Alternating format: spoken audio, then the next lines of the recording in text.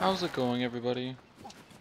I wanted to share a short video of me and a couple of friends doing some open world 3 vs 4 PvP with a new build I've been working on. I hope you enjoy.